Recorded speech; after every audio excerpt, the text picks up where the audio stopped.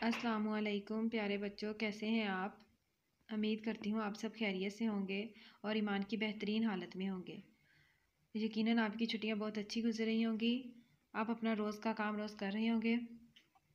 ہم اپنا آج کا سمر پیک دیکھتے ہیں، لیکن اس سے پہلے کام میں آسانی کی دعا پڑھ لیتے ہیں۔ رب یسر والا تو وسر و تمم بالخیر۔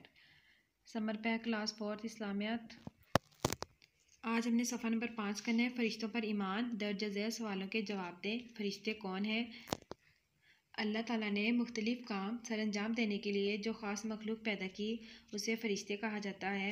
فرشتے اللہ تعالیٰ کی فرما بردار مخلوق ہیں۔ اس کے جواب میں ہم یہ لکھیں گے، اس کے بعد اگلا سوال دیکھیں۔ اللہ تعالیٰ ہر انسان کے ساتھ دو فرشتے مقرر کیے ہیں جو انسان کے اعمال لکھتے ہیں۔ والدین، بڑے بہن بھائیوں کی مدد سے ان فرشتوں کے نام قرآن مجید میں سے تلاش کریں۔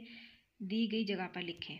اس کے جواب میں آپ لکھیں گے، کرامن کاتبین دو فرشتے ہیں، ان میں سے ایک انسان کے دائیں طرف ہوتا ہے جو نیکیاں لکھتا ہے اور دوسرا انسان کے بائیں طرف جو اس کی برائیاں لکھتا ہے۔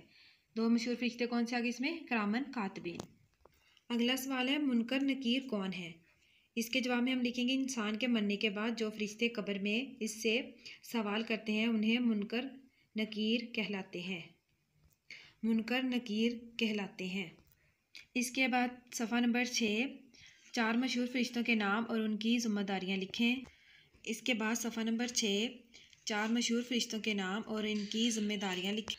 اس کے بعد صفحہ نمبر چھ، چار مشہور فرشتوں کے نام اور ان کی ذمہ داریاں لکھیں۔ اس میں ہم مشہور فرشتوں کے نام میں لکھیں گے، حضرت جبرائیل علیہ السلام، حضرت مکائل علیہ السلام، حضرت اسرافیل علیہ السلام، حضرت اسرائیل علیہ السلام، ٹھیک ہے؟ اور ان کی ذمہ داریاں بھی ہم نے لکھنی ہے حضرت جبرائیل علیہ السلام کہ ذمہ داری ہم لکھیں گے حضرت جبرائیل علیہ السلام تمام نبیوں اور رسولوں کے پاس اللہ تعالیٰ کا پیغام لے کر جاتے تھے۔ حضرت مکائل علیہ السلام کی ذمہ داری؟ حضرت مکائل علیہ السلام اللہ تعالیٰ کے مقرب فرشتے ہیں۔ آپ علیہ السلام کا کام بارش کا انتظام کرنا اور مخلوق کو روزی پہنچانا ہے۔ تیسرے میں ہم حضرت اسرافیل علیہ السلام لکھیں گے۔ حضرت اسرافیل علیہ السلام کے ذمے قیامت کے دن سور پھونکنا ہے۔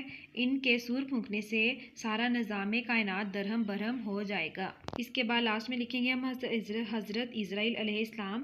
حضرت اسرائیل علیہ السلام مخلوقی روح نکالنے پر مقرر ہیں۔ ان کو موت کا فرشتہ بھی کہا جاتا ہے۔